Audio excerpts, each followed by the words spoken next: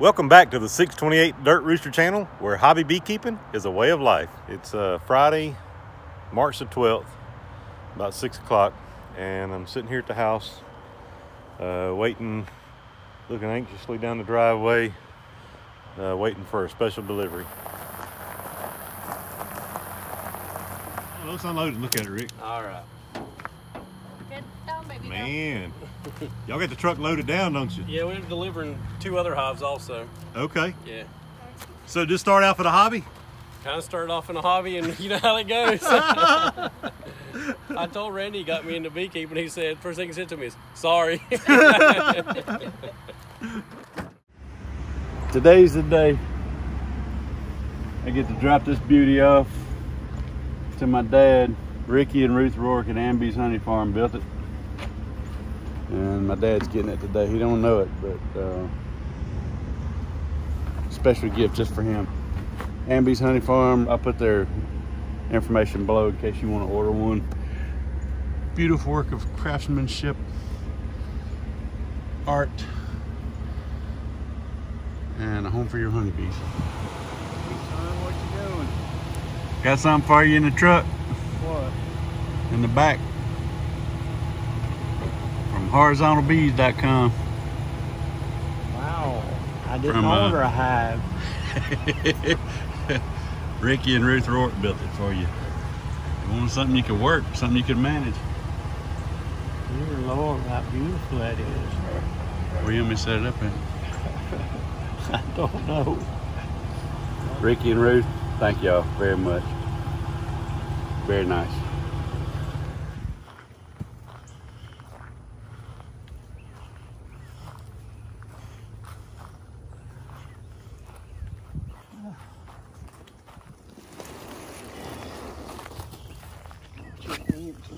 I hate to unload it. I've been riding around with it in the back of my truck for three days and getting all kind of compliments about it.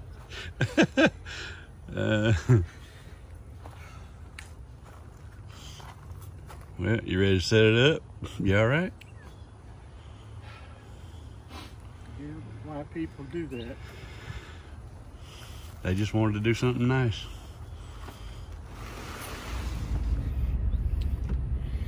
He was pretty touched by that. He's he's tearing up pretty bad.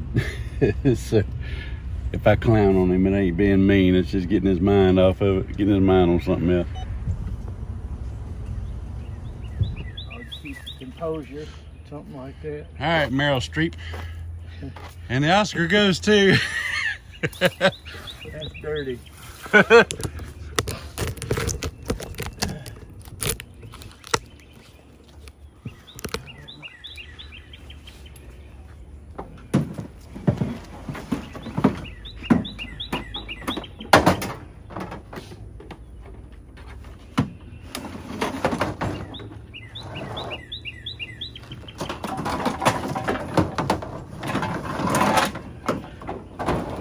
There's the front.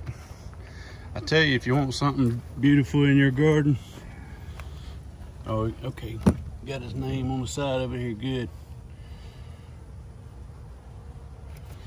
Horizontalbees.com. If you want something beautiful in your garden, there it is right there.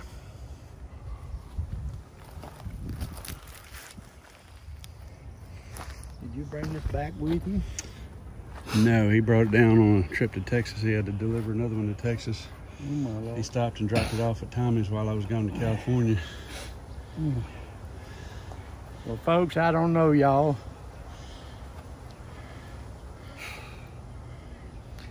And it's hard to even speak right now, but thank you from my heart.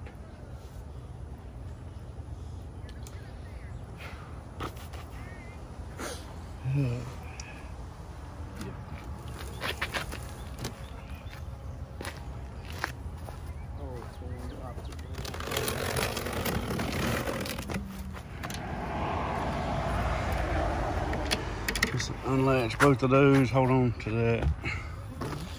Oh. Unlatch two on this side.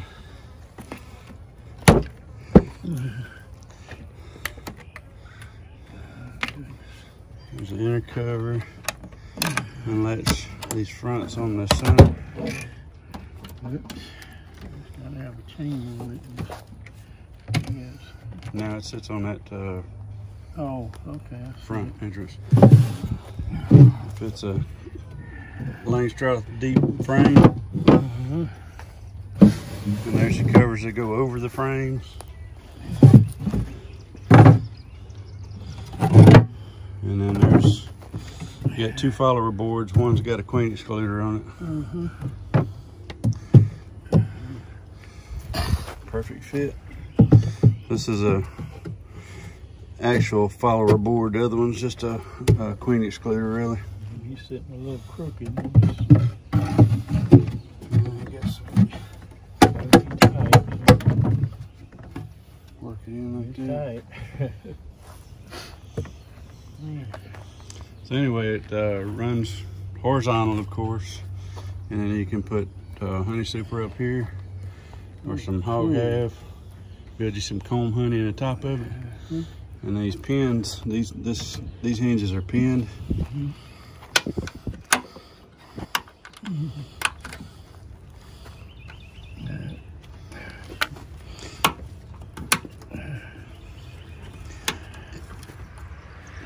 With my fingers, I can't hardly feel anything. Hmm. It's amazing. Yep. So it's pinned like that. These spring-loaded hinge pins. And it opens the whole thing up and and you work it. I'm gonna have to figure it out. it ain't gonna be that hard. There's your queen excluder right there. uh-huh. I'd be able to put two hides in there. Yeah, I th- you could if you uh, stick the follower board in the center right here. You could run two hives in it. yeah. Make another queen excluder.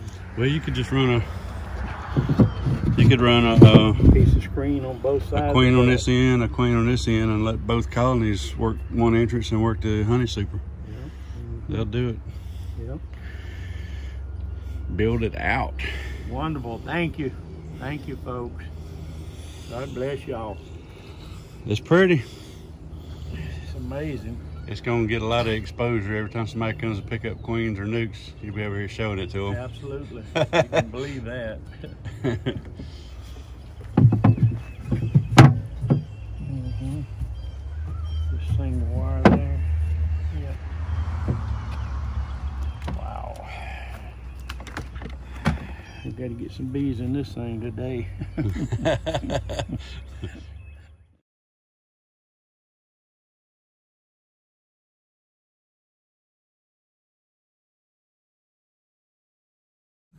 What is up, Rooster Nation? Welcome back to the 628 Dirt Rooster channel where hobby beekeeping is a way of life. Out here with the old man today. What you working on today? Get supers on. Look at Get on them. Look at them heavy wax foundations, y'all. That's kind of that's what you want. Those bees will take that and draw it out so fast to make your head spin. Hope my head don't spin. It's bad enough to begin with. I was gonna video you uh, populating your long hive, but you got ahead of me on it. I got that yesterday. and it was full too. You was in this yesterday, you said? Let's open this up and see what he's got in here. I was gonna be in the middle of it. I'm in there. All these little sugar ants trying to get on this comb here. They won't hurt the hive. Those bees will keep them out of the hive. But you have a couple deeps you split up and put in here, or, or just one? Yeah, I had a nuc over here that had five frames in it. I just split those up. This was a nuc. It was. It was empty nuc. Where'd the cut comb come from? They had built it up inside there because they didn't have enough frames. They was building their own up top. Oh, I see. I'm strip it down and put it back in there. I don't think they're stripping it. I think they're working it. Well, it might be. Put three of these in there.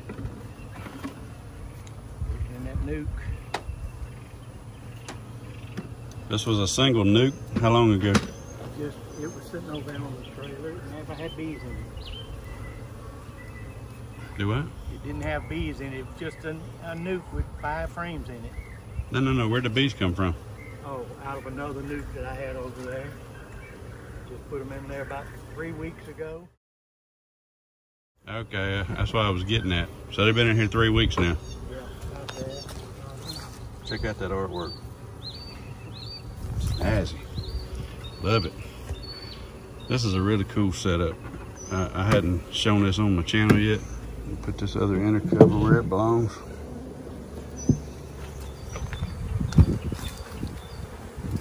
Collecting pollen.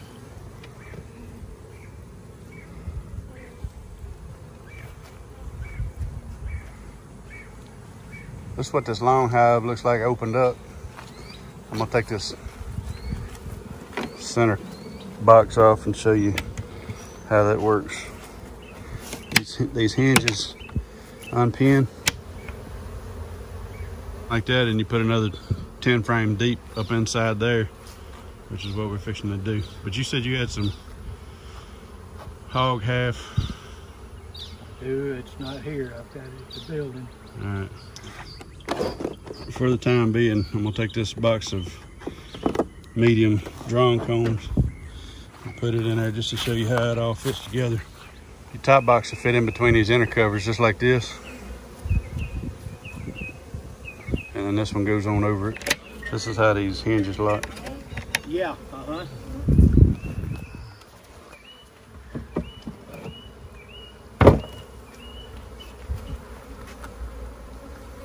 Get it from the other side.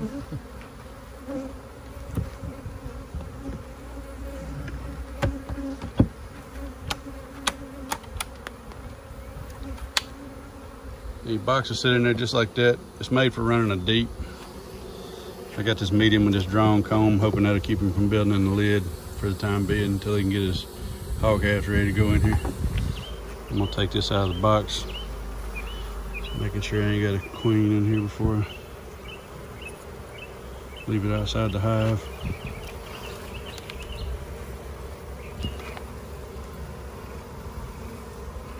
You're gonna leave a food source like this outside the hive, you don't wanna do that during a dearth or when, when you don't have a flow going on even. Doesn't have to necessarily be a full-on dearth. You can promote a robbing situation in your whole apiary just by leaving a food source on top of a single hive.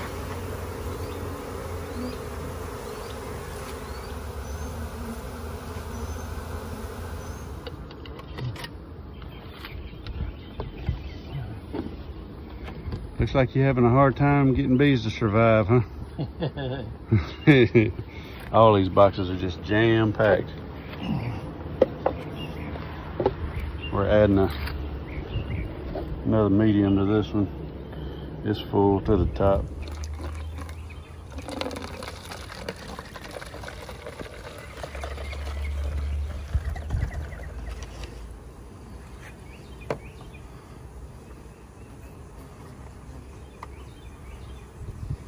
And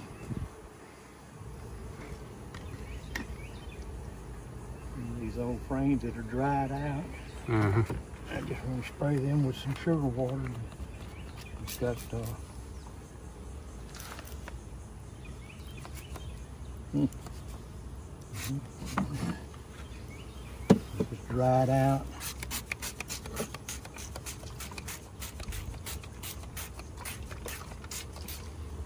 Encourage the bees to work it more.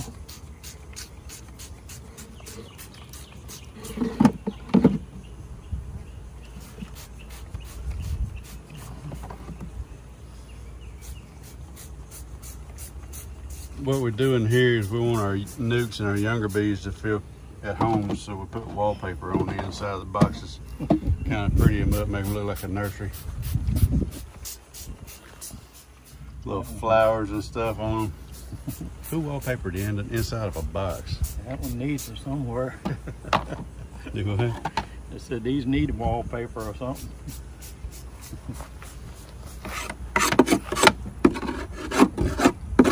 I got this queen excluder right here. Before I go through this box, I'm just smoking bees out.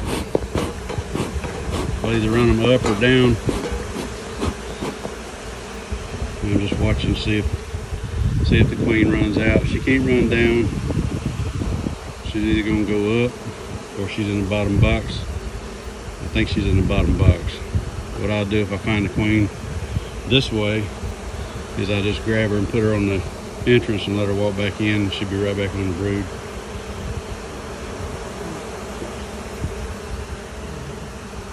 Pouring out pretty fast, so I ain't seen her yet. I don't think she's in here. I, I mean, I don't think she's up top. I'm, I'm sure she's in the bottom. This one, I think I have a queen in both boxes.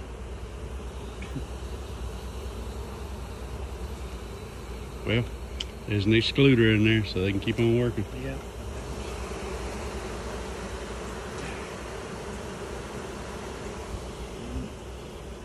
I wrote on the lid when I put them in there. I'm not sure if it was or not. Bottom box, a queen laying. Top box, queen clipped and marked blue. So I think there's one in both boxes. Maybe. I've seen crazier things. I have too. When I did this one, it was late in the afternoon. It was getting ready to pour rain. What do you think of that long box over there? I love it. Beautiful. if I just finish figuring out how it works, so I don't mess it up. Well, we just showed you today Yeah. how to put a super in the top.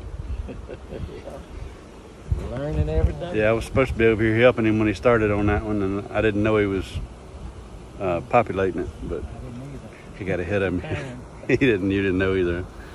All right, I'm working this box with this turd of a smoker. I don't know where where you found this thing, but do you keep your keys on it? I hope you're not going to trouble yourself like that. Listen to it.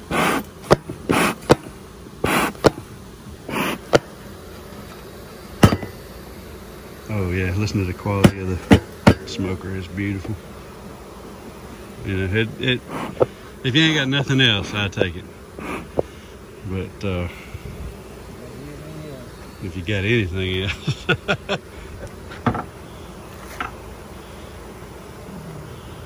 no queen outside the box. I'm confident she's below. We're gonna put the lid back on it and let them run. I ain't gonna pull some frames, which is what I was anticipate doing. I was gonna pull some frames and check it. Uh, not going to.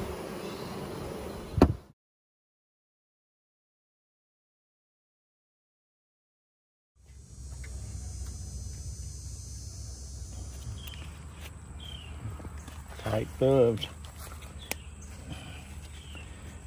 They say one size fits all, one size don't fit all. Gloveworks 2X. Bigger than anything you can find locally. Hmm. I ordered them off Amazon. Got some nine mil, is that seven? These are five mil. Five. See what's in there, and I know it's got combs. We're gonna go in the long hive again today. It's been a couple weeks since we looked at it.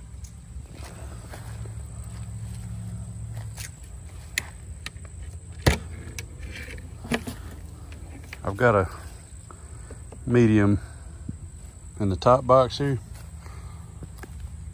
I think you could probably run a queen excluder under here if you didn't want anything in this top box. I'm pretty sure.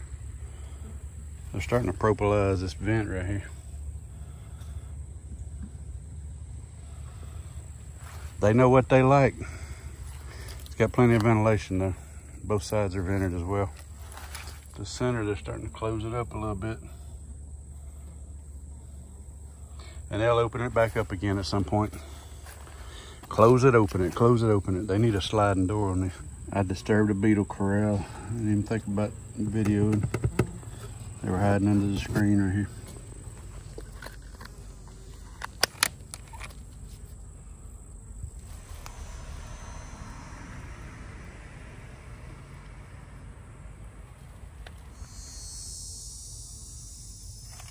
Trying to work on controlling the ants.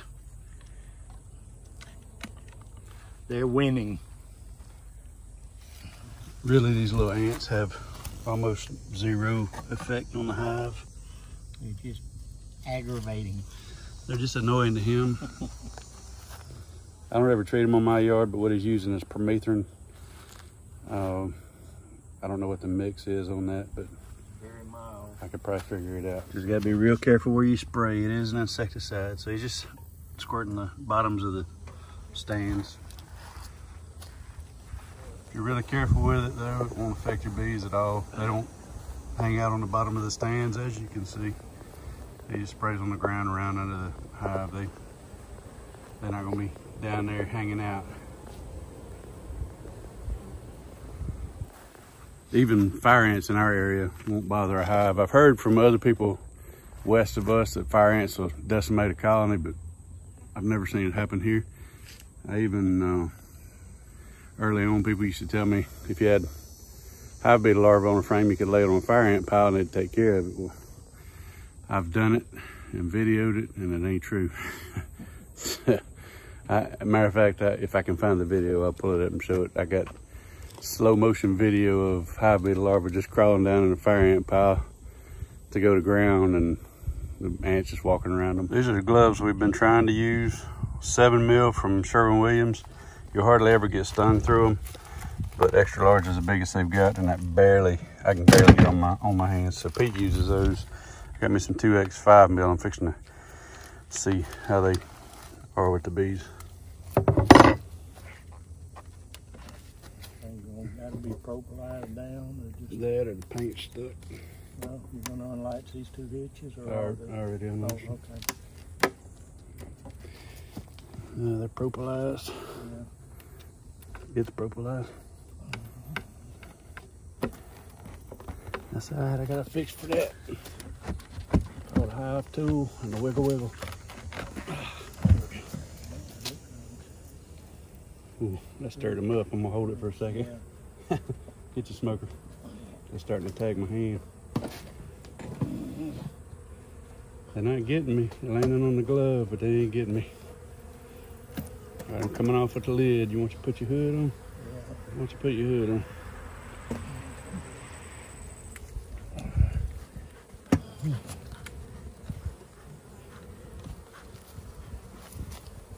Yeah, that thing's full.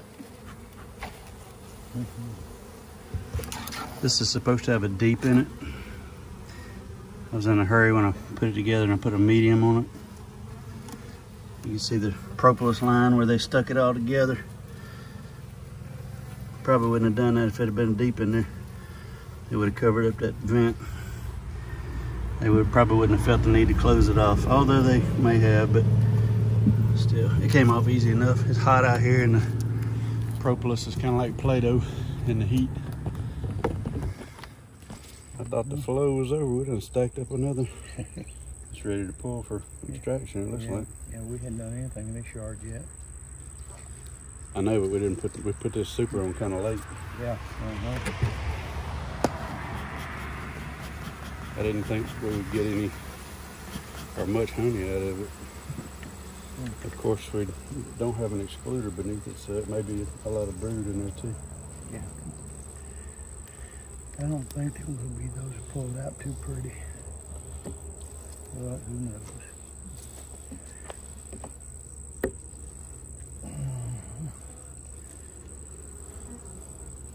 Just There you straight honey. Yep.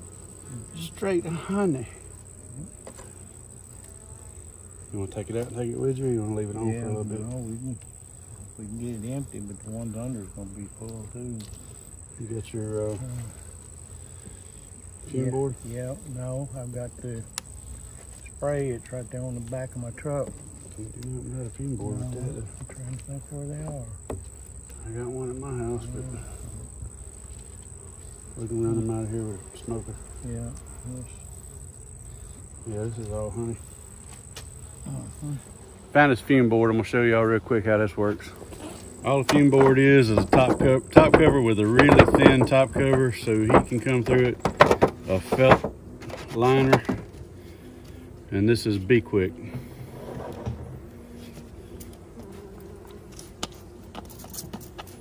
Spread some Bee-Quick in there. This doesn't fit all the way over the box like a telescoping cover. It fits up on top edge of the box. So that Bee-Quick and we don't have any sun on this right now, but it's pretty hot out here. The fumes will run the bees down out of this. We'll give them a few minutes. We'll pull that off and I'll show you how many bees are left up in the up in that honey super. Let's see what they look like after it's probably been four minutes. I see two bees, three bees, five bees in the whole box. That was after about that was after about four minutes with the fume board. And just just a real lightweight metal over some felt and a frame to sit flush on top of the box. You try doing that same work with a smoker and it takes a little time. You can do it with a blower. Some people do use a leaf blower, but that's still not gonna get all the bees out.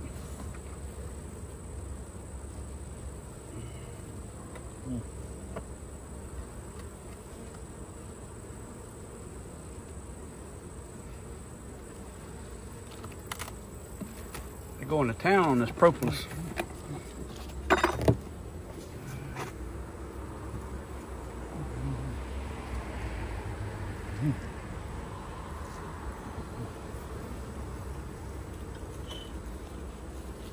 These things are full. Yeah. Well, there's a queen excluder on here. They can work this Yeah. side. Let's just put some more frames in it. Okay. Uh, right there. Uh, yeah, okay.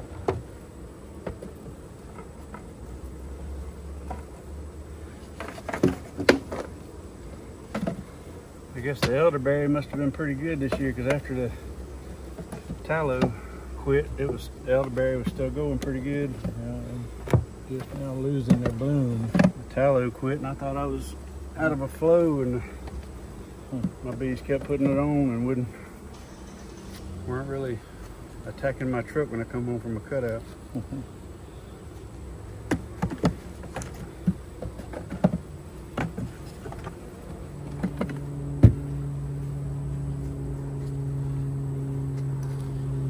this excluder on the middle. Right, well, let's take this other one out.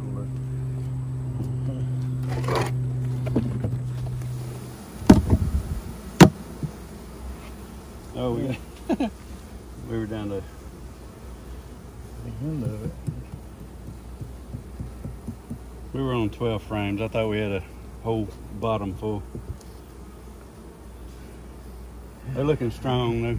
Yeah. A lot of honey to pull there yet. There's some of those little ants. Those little tiny ants. Nothing to worry about. They don't affect the hive at all. Good strong hive. They have zero effect on them. I'll say zero. The bees might argue that point a little bit, but I'll say zero. Give them 10% anyway. yeah. Throw that stuff right back on them. Let them clean it up. Let them Oh, yeah. bait in the ground for pests.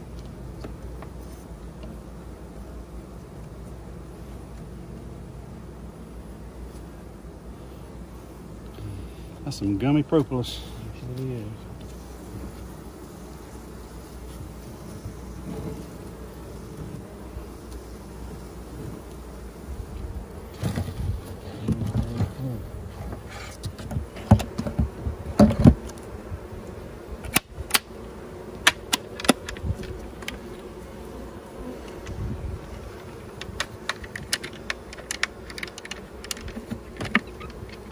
Probably ought to pull it up tight like that every time so less less for them to want to propolize. Yeah, and keep it from warping too. Yeah.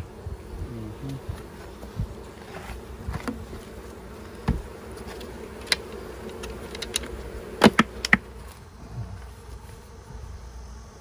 Small hive beetle used to be.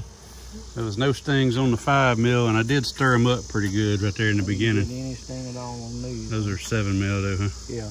Yeah, so seven mil, you're probably hardly ever gonna get a sting. I don't think I've been stung through those seven mils yet. Five mil, just now starting on trying them out. And probably gonna be the same situation. They just don't like to, this, these are nitrile gloves. I don't know, I don't think they like the feel of it. I don't, yeah, I don't know if uh, makes a difference if they're nitrile or latex, probably not, but I don't think they like the feel of this. They land on it kind of act aggressive, but don't sting it. Here's a good idea for transporting your honey supers if you got any bees left in them. Keep bees out and get the bees out of them that may be in them. Solid bottom and then a bee escape on top. You see how that's built? They can easily find their way out and they have a tough time finding their way back in. Darn near impossible for them to find their way in.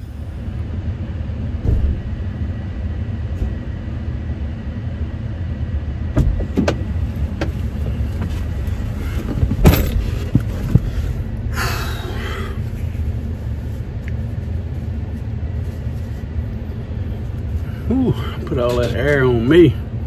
Turn on high.